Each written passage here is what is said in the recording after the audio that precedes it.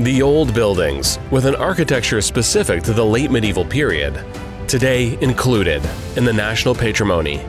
Unique in Moldavia, keep alive not only the history of Botosani, but also the history of the communities which have come from lands filled with hardships, found here the peace they needed to live well.